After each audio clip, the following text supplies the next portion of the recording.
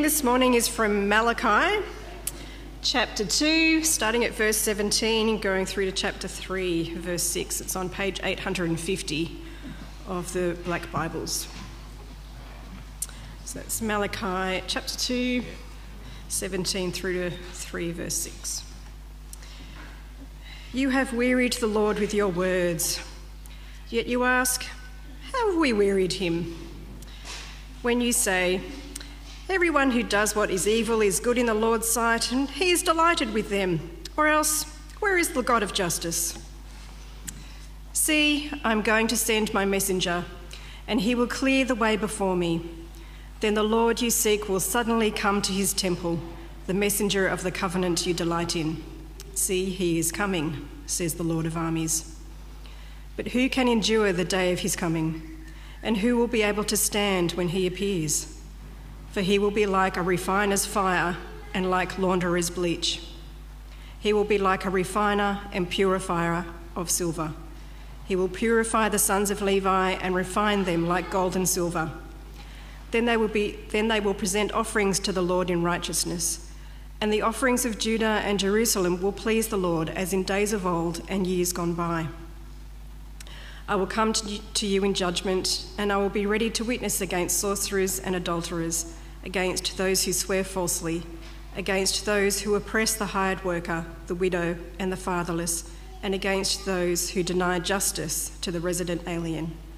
They do not fear me, says the Lord of armies, because I, the Lord, have not changed. You, descendants of Jacob, have not been destroyed. This is the word of the Lord.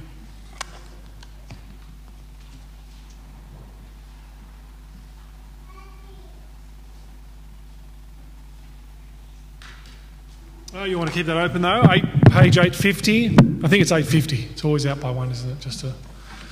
Chris isn't here to remind me. He would usually shout out the exact number. Um, there are, look, there are some. Let's start with this. Um, we're going to talk today about the justice of God and, and the presence of evil. And there is a survey, there was a survey done in 2011 called the Australian Communities Report. And it was a survey done um, on people's attitudes to religion, to Christianity, to, to spiritual life um, in the general Australian community, hence the Australian Communities Report. And in the report, it had the top five things that were blockages or belief blockers, I suppose you'd call it, to spiritual life, to Christianity, to God. And number three on that list was the presence of suffering or evil. It was a major block for people to come to God and to come to terms with God and the reality of God. This was, in a, as I said, in a survey in 2011. Um, this, was, this is not a new argument, the idea about or the, the presence of evil and the, the problem. In the 4th century BC, Epicurus put it this way uh, he said, God is either, on the one hand, he's either willing to get rid of suffering, but he's not able. Like he's impotent in some way. He can either, he can either do it, he's willing, but he's not able, or he's able, he's powerful enough to get rid of suffering, but he's not willing. He's detached and uncaring. And this, is, this argument is put forth because there is the presence of evil. We look around the world and we see that there is trouble in the world. We, of course, experience this. We might even see that the evil people prosper. People have no problems exploiting the poor. There are people who cheat, who cut corners, people without integrity, and sometimes they seem to win. and then on the other hand, you've got the righteous, some that are self sacrificing, perhaps people you know that um, they tend to get, they might get walked all over though, and it doesn't seem like, it doesn't seem like God's righteousness works. Um, on the one hand, God is there's, there is evil, there's suffering that we experience it, we know about this, we see this. So either God is willing but not able, or able but not willing. And to put it in a modern day frame, we might just say something simply like this How can I believe in a God that allows suffering? And maybe we've experienced this or felt this. And of course, this isn't just a academic question. We may have experienced suffering or be going through some. And we ask this, you know, how could God allow allow something to happen to me? How could he allow this particular thing to happen to me? Or people that we know who are good people who've gone through terrible things. There are some people we know they might try to live good lives and be good people, and we think, how could God allow that? It's not just an academic thing, is it? This is a reality that we all live with. And the Israelites asked this question. Have a look at verse 17. It's the very first verse we had in the reading. Everyone, chapter 2, verse 17, everyone who does what is evil is good in the Lord's sight, and he is delighted with them. Where is the God of justice? This is what they're saying. They're saying, everyone who does evil is good in the Lord's sight. He seems to be delighted in them. Where is the God of justice? It's that exact question. It's that, that issue. Where is God? Or at least, where is the God of justice? You notice that it's an important thing. Where is the God of right and wrong and the God who will not allow evil to prosper? And the thing is, we have to, this is the Christian response. We're going to look at this in, the, in a moment. The Christian's response to suffering or evil. And especially, we're going to tinge it with Christmas coming. Um, Christmas, the Christian response. The thing is, though, we have to come, we all have to deal with suffering, don't we? We all have to live with the philosophy of suffering. So if we don't have a Christian response to suffering, we've still got to live with it. We've still got to somehow, somehow have some way of living, right? The atheist thinks, I mean, essentially says that there's no right or wrong, is there? There's no evil, there's no bad, it's just, it just is. We have to have some sort of philosophy to cope with this, to deal with it, to talk about it, to make sense of it. I suppose I'm just saying, either way, you've got to come up with some way of living with this. I think the Christian story has the best response to suffering. And I want to show you three things, in particular connected to Christmas and the incarnation. I kind of give you a Christmas sermon before Christmas. Um, you can hear another one on Christmas Day. I want to give you three things about how why Christmas is God's response to suffering. The first is um, in verse 1, and it's all in the passage as well. So the first is the God of the Bible is the God who refuses to stay away from evil. The God we worship is the one who refuses to stay away from evil. Have a look at verse 1. See, I'm going to send my messenger, and he will clear the way before me. Then the Lord you seek will suddenly come to his temple, and the messenger of the covenant you delight in. This is that, that verse, you know, that's in the, in the New Testament when John the Baptist, see, I'm going to send my messenger. He's going to clear the way before you. And then after that, what happens? It says, then the Lord you seek will come suddenly in the temple. He'll turn up. And the messenger of the covenant you delight in. What's it talking about? It's talking about God turning up in history. It's talking about incarnation, it's talking about God with us. And the point is at Christmas, it tells us we have a God, we worship a God who is honest enough to get involved in suffering himself he enters into the world. God with us. We don't worship a God who is distant or detached. Because it says there, the Lord will seek, suddenly come to his temple, and the messenger, notice the messenger of the covenant, you delight in the covenant. They delight in covenant, the law, the right and the wrong. The one who gives the covenant and who says, This is the law, this is right and wrong, he's the one that turns up in flesh. It's the promise of the day when God enters the world. And if Christmas is true and the baby is born, it's the God of the universe, the God of the covenant, who takes on flesh. And the beauty of it is that we have a God, we worship a God who is honest enough to get involved in the suffering himself. He will not stay away from suffering. And this is absolutely unique in terms of philosophies in, in, in the world. You understand? There's no other philosophy or ism that comes into contact where God comes into contact with humanity. and it means God knows us. He knows what suffering, what He's like. Even more, He's come in and He's entered in. John Stott, uh, commentator on the Bible, Anglican priest, he says this uh, I could never myself believe in God if it were not for the incarnation. In the real world of pain, how could one worship a God who was immune to it? In the real world of pain, how could one worship a God who was immune to it? We, have, we worship the God who did not stay away from suffering. That's the first thing. Now, it doesn't solve the problem that we experience of the real world of pain, does it? But it does tell us one thing it tells us God is not this detached, uh, kind of willing but un, una- or unable to do anything about it. He's not detached. He enters in and he won't stay distant. The second thing is in verses 1 to 5, we see a God who, alongside refusing to stay away, refuses to look away from injustice. Have a look at verses 1 and 5.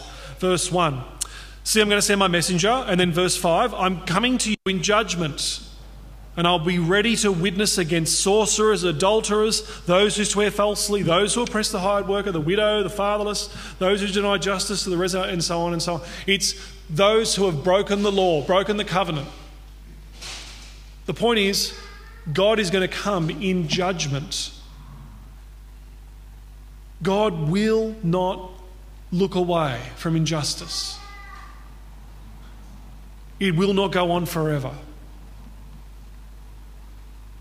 And so the point is, I suppose, are, you know, are there times when you might say, Is this right, God? Where you're angry, like genuinely angry? And it's true, you shake your fist and you might say, How could the world, how could this happen? God is even more angry righteously angry at injustice. He will execute justice and he will not let people get away. There is a day where he will do right every wrong and he will execute justice.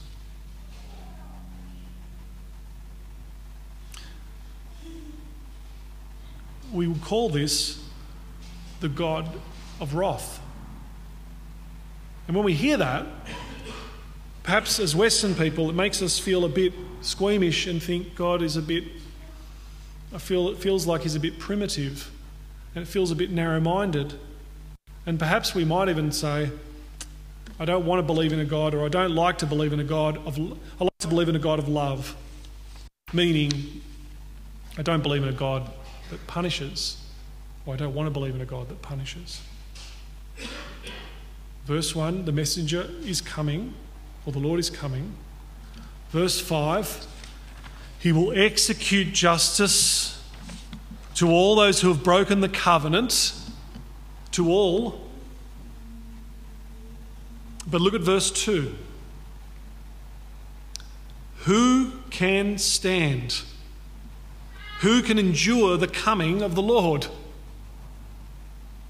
The issue is, of course, the implied answer to that is none. The issue is that all have broken the covenant. And why I'm saying the issue it is, is because it's an issue for us. Because remember earlier I said, we, at the very start, I said we cannot believe in a God who does nothing in the face of injustice. I can't believe in a God who does nothing. And yet, I can't believe in a God who would be wrathful and punishing. This is what Western people hold together often. I can't believe in a God who would allow evil to happen, but then I, I don't want a God that is filled with wrath, that he could punish people. How do those two stand?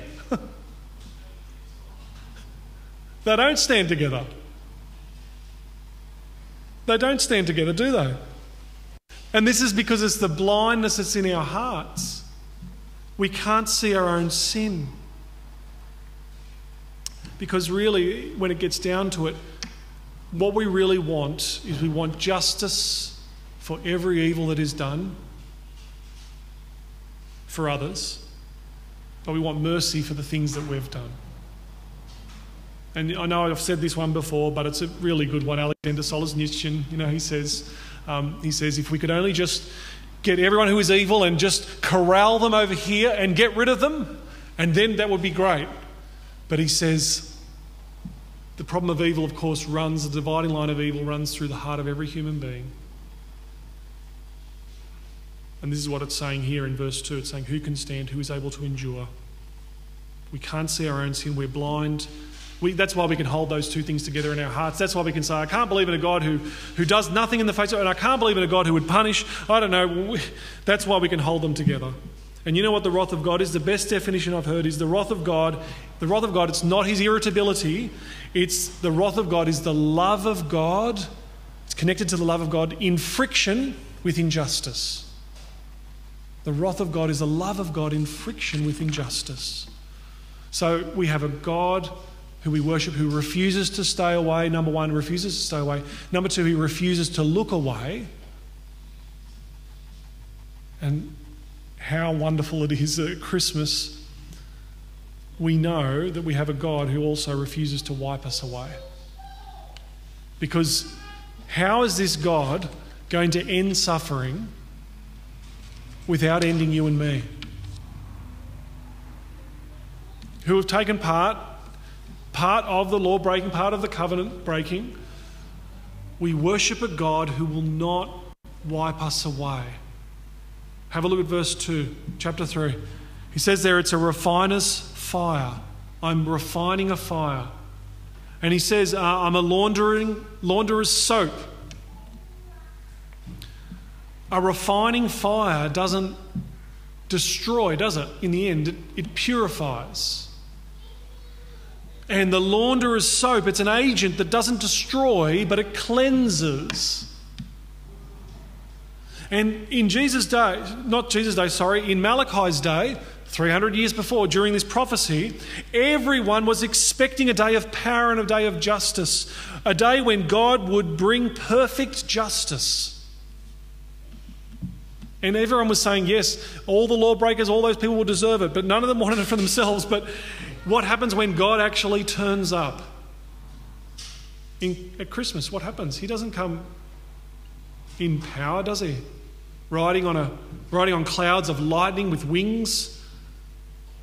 But he comes born in a manger.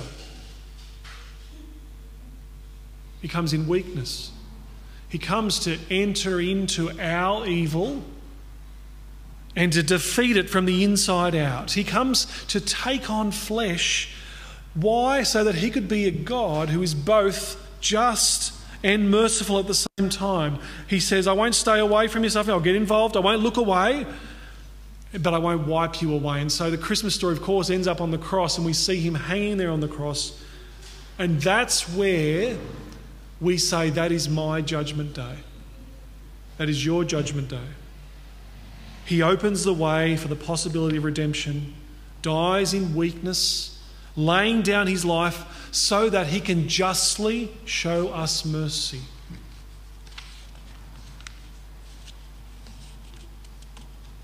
And we didn't read out uh, verse 16 in chapter 3, but just look at that, verse 16.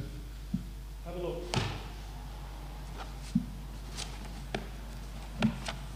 It says there, chapter 3, verse 16, on that day, it's the same day, the day when the Lord will come, the day of judgment, the day of mercy. On that day, at that time, those who feared the Lord spoke to one another. Uh,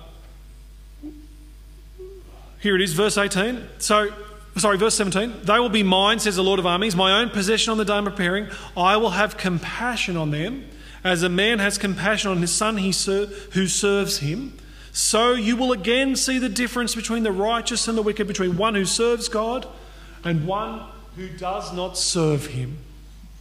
There will be a time God will right every wrong, and He's having compassion on people, and there'll be a time when, when people will serve Him, people who are part of His covenant. He's talking, of course, about people who will turn to Jesus. In one sense, the righteous and wicked are seen in their response to the God who has done it all, who said, I won't stay away from evil, I've come, I won't look away, and I won't wipe you away. It's the one who has done it all on the cross already. and our response to Him is our faith and our covenant keeping, and it's how we are known by Him. And so there is a righting of the wrongs. It's not that the evil will always get away. It's that God has dealt with it and He will deal with it finally and fully when He comes again. Christmas is God's response to suffering because it shows us He's a God who refuses to stay away, refuses to look away, and He refuses to wipe us away. Let's pray. Father, we thank you that we read of that those words, who can endure the day of the Lord? And we we rightly tremble. And we hear of who can stand. And we do see evil around us. And yet, we thank you for those words that speak of compassion and of mercy, and that you will turn away because on the cross, your Son bore the judgment that we deserve. The wrath was, of God was sent on him. And he's opened the way for forgiveness and for life and for redemption. And this morning, help us, if we're struggling with the idea of suffering with evil, help us to grasp how fully you have taken care of it. And help us to lay our fights, our bitterness, our resentment on your feet and lay them at, your, at the foot of your crown and your kingly, kingly rule. Help us mercifully to accept your grace and to listen to you and to be people who say thank you for the great uh, forgiveness we have in Christ. Help us to see the cross more and to see your justice and your mercy. And help us to worship at your feet this morning, we pray. Amen.